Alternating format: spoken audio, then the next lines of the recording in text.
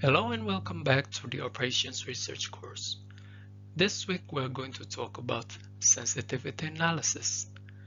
To start this topic, we're going to look at a simple linear programming problem that has only two variables such that we may draw the um, feasible region and optimal solution of the problem graphically and then we will visually see how we may perform the sensitivity analysis on that problem. So let's start. So let's use the example of the Giapetto problem that we've seen in the linear programming topic. So this problem has only two decision variables. x1 is the number of soldiers produced per week and x2 is the number of trains that Giapetto produces per week. It has three constraints um, regarding finishing hours, carpentry hours, and the demand of the soldiers. So um, because we only have two variables, we may graphically um, plot the feasible region and then we see that the optimal solution for this problem is at point B. We're going to talk about gradients. So to refresh your memory about gradients, let me ask you some review questions. So we have two lines here. The one is the blue solid line and the other is the red dashed line. Which line has the more positive gradient? I will give you a pause on the video so you will have the time to think about the answer and then I will return after the pause.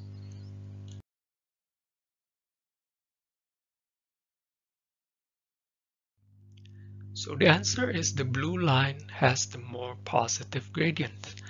You can think of the blue solid line, for example, is the equation of y equals 5 times x, while the red dashed line, um, you may think of it, let's say, as y equals 1 third times x. So visually, we may conclude that a line with the more positive gradient is the steeper line.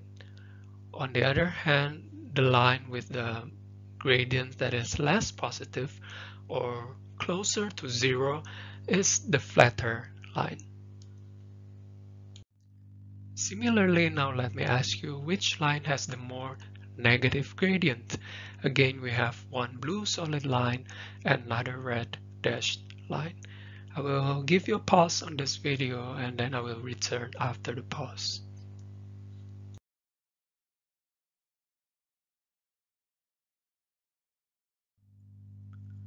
The answer is again the solid blue line has the more negative gradient. You may think of the blue line as the equation of y equals minus 7 times x, while the dashed red line, let's say it is y equals negative x. So visually, we may again conclude that a line with the more negative gradient is steeper Another line closer to zero or with less negative gradient is flatter. So here the blue line is steeper, the dashed red line is flatter. In sensitivity analysis, we're going to look at the effect when a parameter in our original problem changes. So let's start uh, by looking at what happens when there is a change in the objective function coefficient. Specifically, we are going to look at the effect on our current optimal solution. In the example of Giapetto problem, this is the current feasible region and the optimal solution is at point B.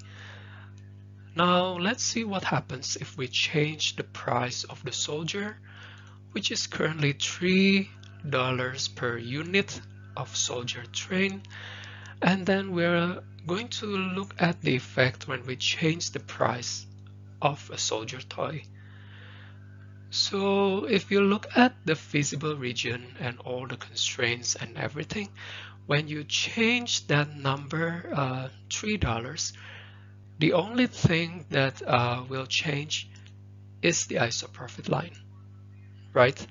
Because the constraints you don't do um, any changes to the constraints. So all the constraints should remain the same. You do not change any value of the right hand side. You do not change any parameters of the constraint. So um, the feasible region should stay the same. The only thing that will change by changing the price of the soldier is the isoprofit line. So let's see how we um, obtain the isoprofit line.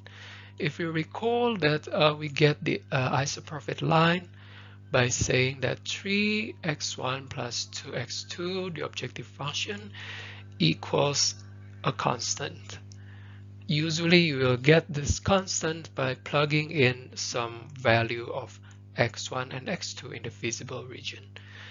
So if we rearrange this um, equation, we will get um, this uh, equation saying that x2 equals minus 3 over 2x1 plus constant divided by 2. So in other words, we can see that the gradient of the isoprofit line is minus 3 over 2, where 3 currently is the price of the soldier. Okay, so the gradient of this line is minus 3 over 2, where the number 3 comes from the price of the soldier. Okay, so we have seen that if we change the price of the soldier, the effect will happen on the isoprofit line. Now the question that we'd like to answer actually is what value of soldier price that keeps the current basis optimal? Basis means the set of basic variables. So we've seen that our optimal solution is at point B, and then there are basic variables that correspond to that point. Uh, we would like to answer what value of soldier price that keeps those basic variables in our current basis, they remain optimal. To answer that question, now we're going to imagine what happens if the isoprofit line is much flatter or much steeper than the original one? So let's start by looking at if the isoprofit line is flatter. So it's very flat like this red dash line here. It's very flat and then um, if this is our isoprofit line then you can see that the optimal point changes right?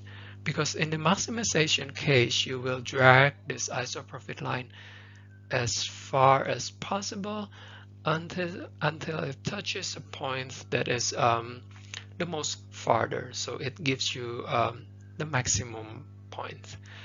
So let's try to drag this um, line. So we drag this up and then the last point that we touch before we leave the feasible region is point A. So the conclusion is that if the isoprofit line is flatter than the original one is very flat like this, the optimal point will changes from B to A. Now let's see another scenario. If the isoprofit line is very steep, so something that looks like that. So the red dashed line here is very steep, such that if we drag this new isoprofit line, we can see that the optimal point will change as well. So we drag that as far as possible. And then the last point that we touch before we leave the feasible region is point C. So if the isoprofit line is very steep, the optimal point will change from B to C. Now you can see that whether the isoprofit line is uh, too flat or too steep, the optimal point will change either from B to A or B to C. Now let's make our description more specific. So if our isoprofit line is flatter, but how flat? Well, it has to be flatter than this line.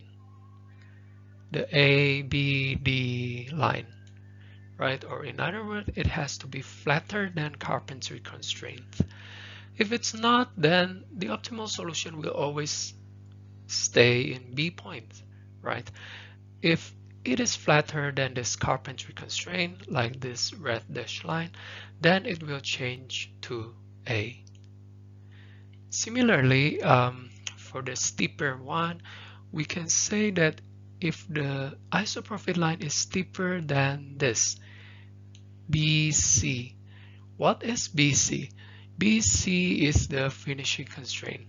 So now we can say more specifically that if the isoprofit line is steeper than the finishing constraint, then our optimal solution or our optimal basis will change from B to C.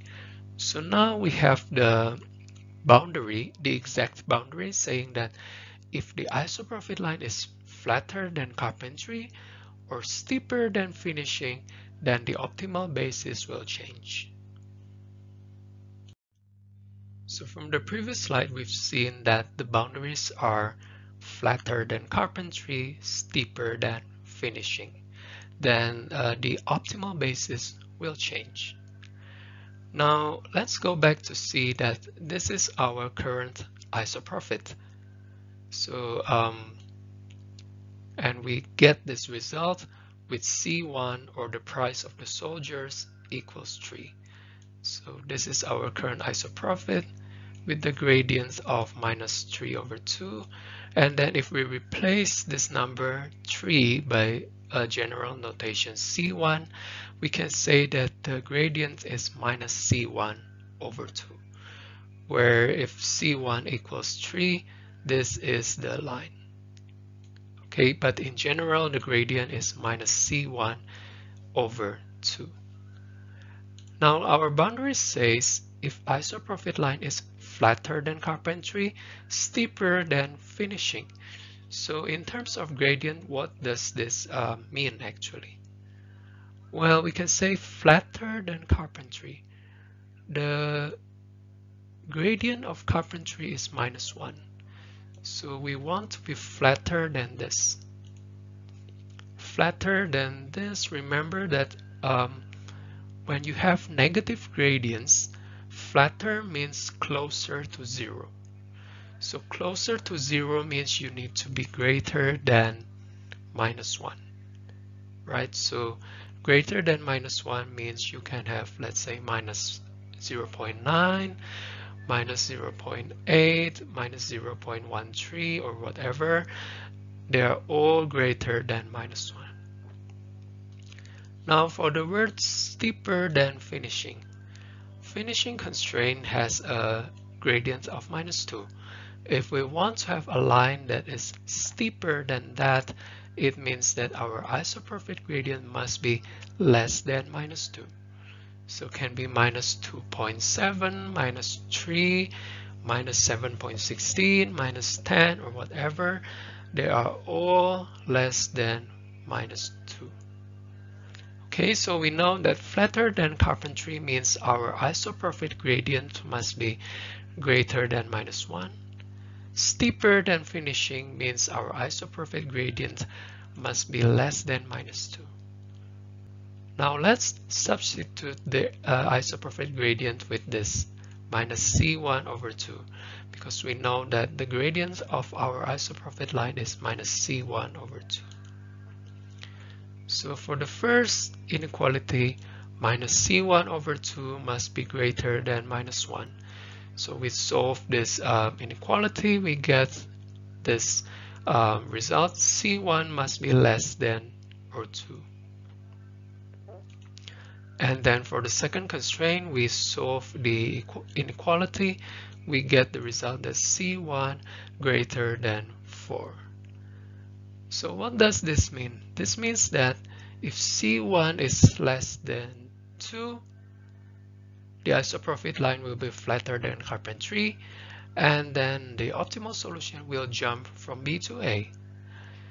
If C1 is greater than 4, our isoprofit line will be steeper than finishing, and our optimal basis will change from B to C. Now remember that the question we'd like to answer is the current basis does not change when what. So based on the previous result when we see that um, these things will make the current basis change, so we may conclude that the optimal basis, the current optimal basis does not change when C1 is between 2 and 4, including 2 and including 4.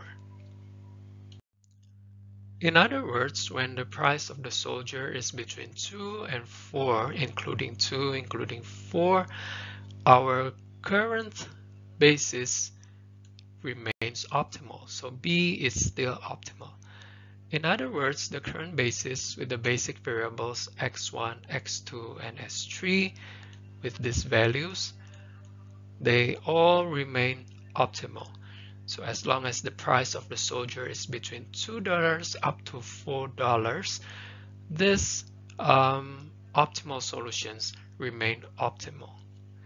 However, uh, you should notice that even though the current basis remains optimal, the z value will change, which is logical, right? Even though you produce uh, the same number of soldier, the same number of train, if the price of the soldier changes, then your revenue will change as well, right? So um, let's say if uh, C1 equals 3, which is the current um, price for the soldier, $3, your total revenue is $180. If it goes up to 4, then your Z value will goes up to 200 as well. Although this solution remains optimal, your total revenue changes. Again, as I said before, because the price of the soldier changes, even though you produce the same number of soldiers.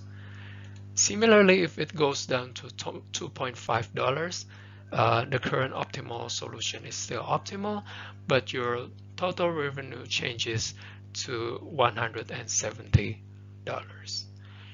So we have seen how we may see graphically that um, the change in the uh, price of the soldier may change the current optimal basis. And then to answer what value of the soldier that uh, the current basis remains optimal, the answer is between $2 up to $4, including 2 and including $4. So that's the end of the first part. In the next one, we're going to look at the effect on changing the value of the right-hand side of the constraints. So see you on the next one. Thank you.